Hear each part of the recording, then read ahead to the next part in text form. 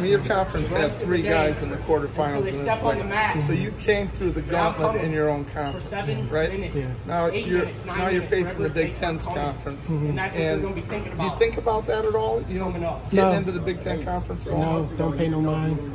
Don't Just do care. your thing. Yeah, I'll just do me. I don't care about that. I mean, everybody talks. Just, just talk. Just show it out there on the mat. That's all I gotta say. Last year, last year was something really hard for me to watch, and it was, you know, man, I love watching you. You wrestle so hard, man. You put it out there. Give me some.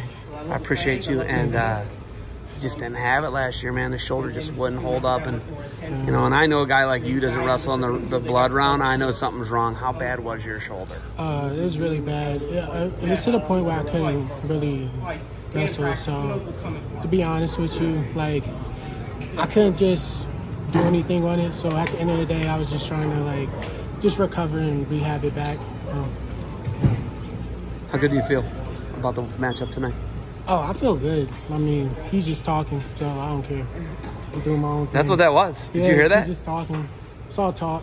Got to prove it on the mat. I don't talk. That was wild. Interviews. I just That was kind of wild. I've never Yeah, heard that. I just you ever heard that before? yeah. I hear it all the time, but you just gotta go out there and wrestle. That's it. Talk cheap. Yeah. Prove it on the mat. Scare money don't make money, right? Yeah. Oh my God! Thank you so much. Yeah, I you. appreciate you, man. Good luck tonight. Thank you so much.